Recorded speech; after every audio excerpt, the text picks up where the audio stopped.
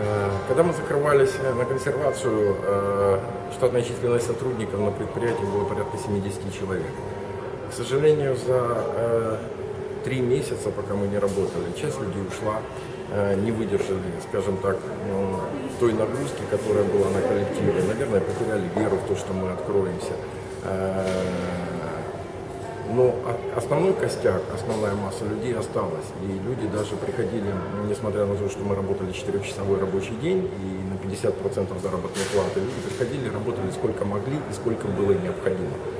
И э, то, что мы открылись, э, это тоже их заслуга. И огромное им за это спасибо. Я на самом деле горд быть директором такого коллектива.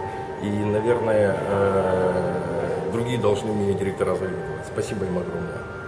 А скажите, ваши воспитанники не обрывали вам телефон или тренерам?